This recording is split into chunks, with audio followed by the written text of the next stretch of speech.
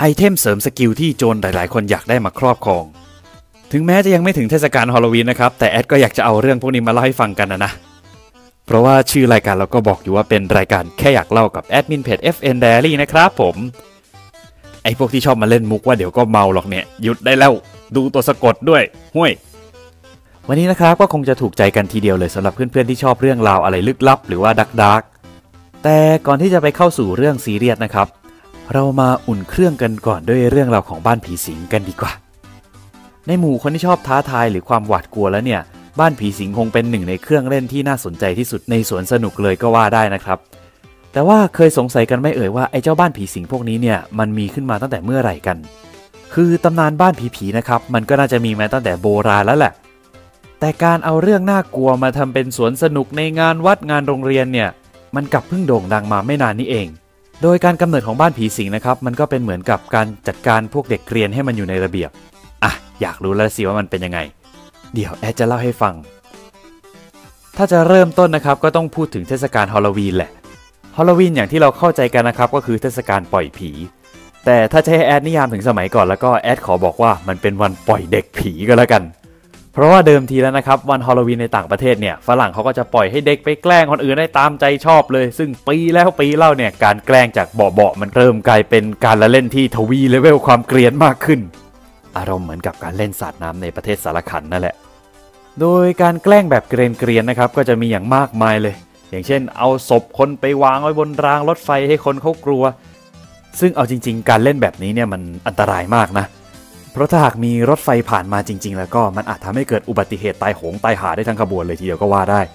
ไอการแกล้งคนแบบนี้เนี่ยถึงแม้ว่าจะมีคนไม่เห็นด้วยอยู่บ้างนะครับผม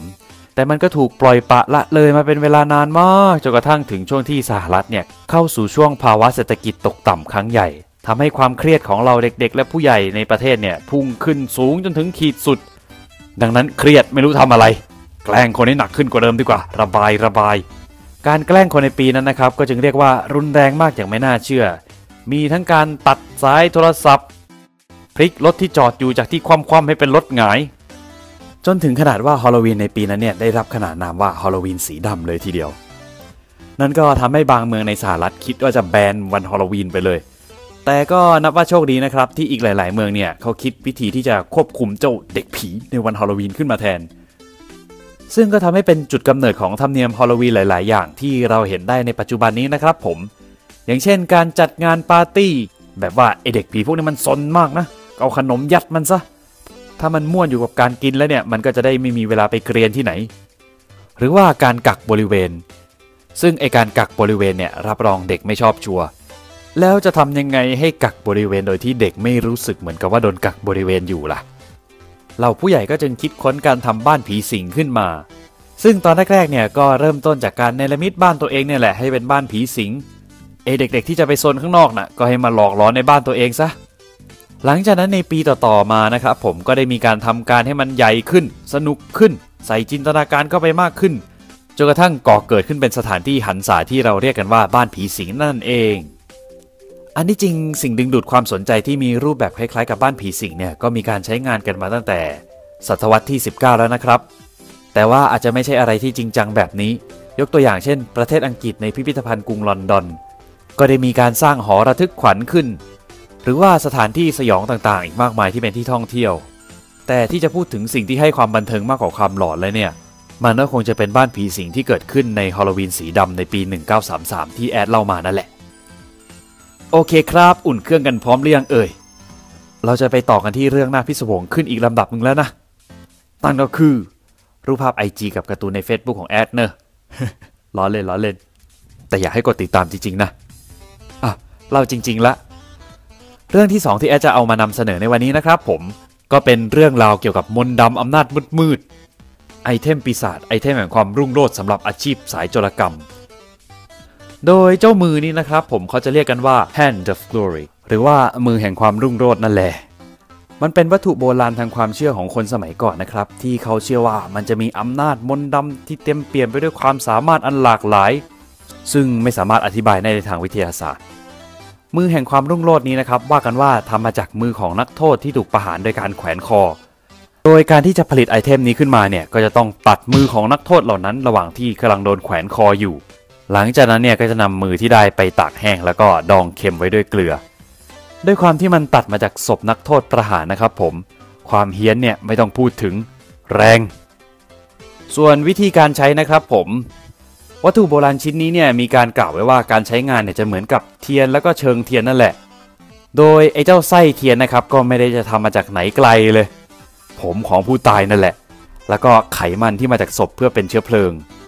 เมื่อใดก็ตามที่เจ้ามือแห่งความรุ่งโรจน์นี้ถูกจุดขึ้นมานะครับ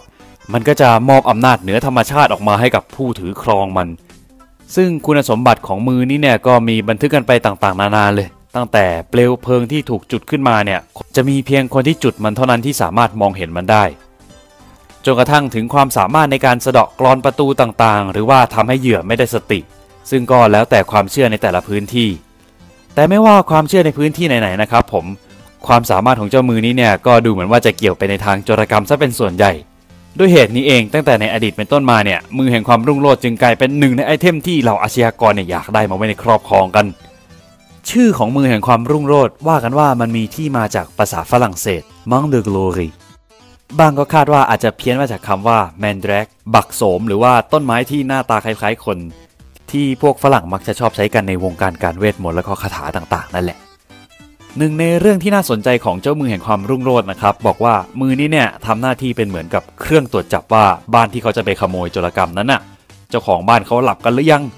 โดยวิธีการทำงานนะครับ ผมโจรเนี่ยจะรออยู่ในบริเวณที่ทำการ แล้วก็จะรอดูไฟจากมือ ถ้าหากคนในบ้านหนึ่งคนหลับ ไฟหนึ่งดวงก็จะติดขึ้นที่นิ้วข้างหนึ่งคนที่สองหลับไฟอีกดวงก็จะติดขึ้นที่นิ้วอีกนิ้ว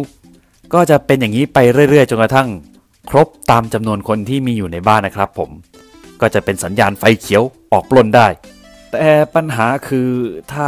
คนในบ้านนั้นอยู่กันมากกว่า 5 คนล่ะ จะทำยังไงกันดี ต้องหามือนี่มาอีกอันไหมเนี่ย ในปัจจุบันนะครับเราเชื่อกันว่าเจ้ามือแห่งความรุ่งโรจน์เนี่ยมีเหลืออยู่เพียงชิ้นเดียวเท่านั้นเอง ที่เป็นของแท้ true มาจากในอดีต โดยเจ้าวัตถุโบราณดังกล่าวนะครับ ถูกค้นพบในหมู่บ้านแห่งหนึ่ง ในยอร์กเชียร์เหนือประเทศอังกฤษ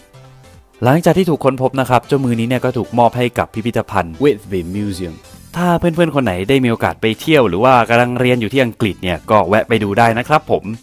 และถ้าใครแวะไปดูก็อย่าลืมถ่ายรูปแล้วก็กลับมาเล่าเรื่องให้แอดฟังด้วยล่ะ หวังว่าเรื่องเราวันนี้คงจะไม่ใช่เรื่องน่ากลัวมากเกินไปสำหรับคนที่ฟังแอดเพื่อกล่อมนอนอยู่นะ เรื่องราวในวันนี้นะครับก็มาจากแฟนๆเพจของเราหลาย ๆ คนที่ได้ขอเข้ามานี่แหละแอดก็เลยจัดไป แล้วก็ถ้าหากเพื่อนๆ คนไหนมีเรื่องราวน่าสนใจที่ยังไม่ซ้ำกับช่องอื่นก็บอกแอดได้เนอะถ้ามันน่าสนใจจริง ๆ แล้วยังไม่มีใครทำเนี่ยแอดจัดให้แน่นอนสำหรับวันนี้นะครับ แอดก็ต้องขอลาไปก่อนนะครับบ๊ายบาย